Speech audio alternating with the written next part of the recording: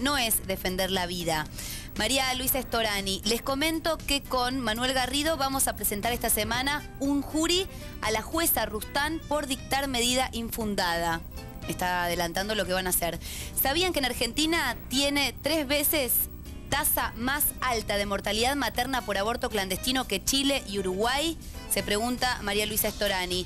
Lesbianas y feministas. Según el Ministerio de Salud, cada mujer aborta en promedio dos veces en su vida. Si una no abortó, otra lo hizo cuatro veces. Pero siempre el tema es en qué condiciones se hace. Sí, y lo interesante, Julieta, Manuela, amigos, de lo que van a ver ahora es cómo se discute, cómo se vive esto dentro de una familia. Camilo Blas que es un entrañable amigo de nuestro programa, poeta, periodista, muy jugado como persona, tiene una institución que se llama Todo Piola Audiovisual.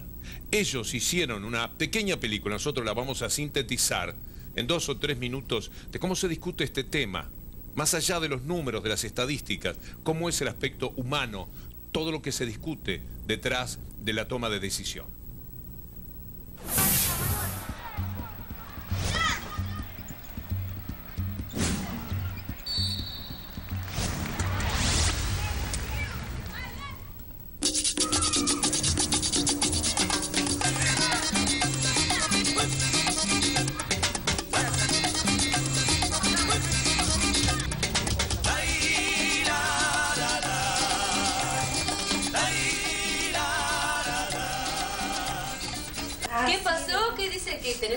Atraso? ¿Que andás comprando un té de embarazo? ¿Que ella escuchó hablarte a vos con tus amigas? Esta re flashé. No, no, re flashera no. Ella te escuchó hablando a vos con tus amigas. Quiero que vos me digas la verdad. Te estábamos hablando de la Melo.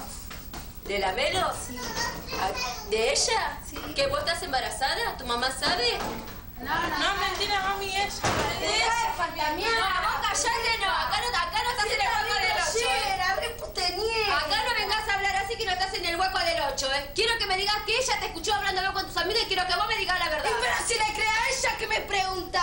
No, no le estoy creyendo a ella, te estoy preguntando a vos. Quiero que vos me digas la verdad. Yo te llevo a la pita y en cuanto me digas que estás embarazada, no te hagas la mala con tu hermana porque estás hablando conmigo. Vas a agarrar tus dos mugres que tenés porque dos trapos locos lo mantenés y te vas a ir de esta casa. Así nomás. Y me imagino que si estás embarazada es porque tenés un novio legal, trabajador, que creo yo que te va a sacar adelante.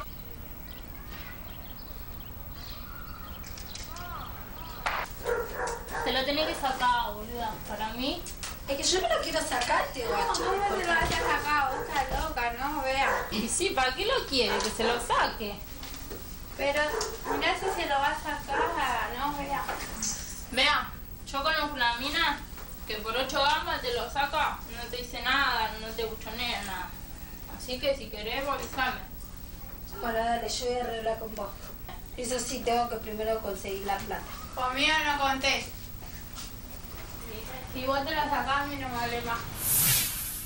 Cuánta soledad y qué pequeñas para tener ellas que discutir de, de algo que si hubiese una salud pública dispuesta, quizás puede verdaderamente aconsejarlas y ayudarlas. Totalmente, y también no llegar a una situación. Hay algo que es una realidad, ninguna mujer aborta porque le parece lo mejor que le pasó en la vida, ni festeja con orgullo. O sea, es una situación terrible para una mujer cuando llegas a eso. Puede ser producto de una violación, puede ser porque el método anticonceptivo falló, porque no funcionó, te dejó tu pareja, cambiaste de parecer o tenés 15 años. Y además hablemos que en este país, se diga lo que se diga, no hay educación sexual en los colegios. Yo también fui a colegio público, no tuve jamás ni un videíto ni nada que me explicara nada. Y sí en un colegio público tenía cruces eh, cristianas en las aulas. Entonces, el proyecto de ley presentado en el Congreso habla del derecho al aborto, primero porque es una decisión para disponer sobre el propio cuerpo, es un derecho, no una obligación. No se obliga a nadie que no quiera ir a abortar, digamos. Veremos más adelante en el programa, Manuela, cómo además, donde la ley protege a las mujeres, hay menos abortos. Vamos a poner un caso en números, además, muy concreto y con el aval de un sacerdote que hablará de una manera muy inesperada. Claro, es en Cuba.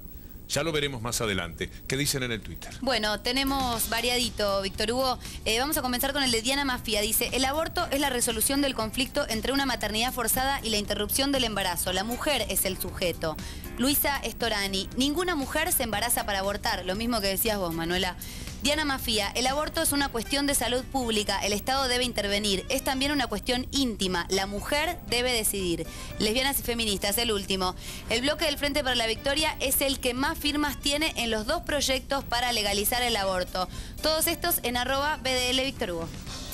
¿Algún comentario? Es muy controversial lo que dicen las chicas lesbianas y feministas porque por más que el bloque kirchnerista tenga muchas firmas, fue el mismo bloque que el primero de noviembre pasado faltó en masa al Congreso para no discutir. Nosotras vemos que esa estrategia parlamentaria de disuasión de algunos diputados ha fracasado en el país porque como el gobierno no lo quiere dar, es un bloque justamente y faltó en masa y por eso el proyecto de ley se cayó y este año se tuvo que presentar nuevamente. Entonces, ahí, por más que haya firmas, no hay voluntad política. Todavía. Todavía. Son contextos a veces. Yo me permito mantener un optimismo de que en algún momento nos encontremos con que es lo primero de la agenda. Porque un gobierno que se siente de izquierda no se puede ir, si es que en algún momento se tiene que ir, sin haber hecho justicia en este tema.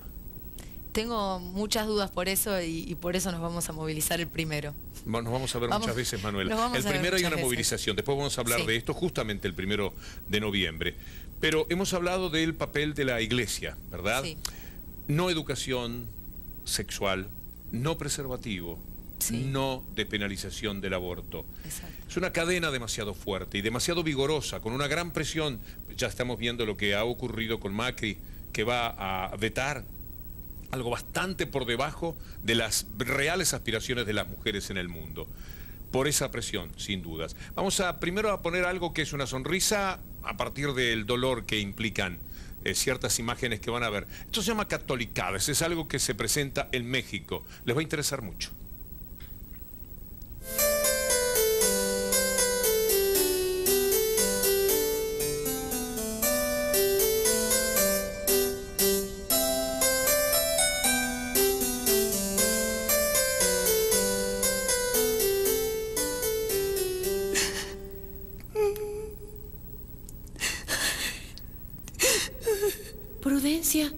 Pasa?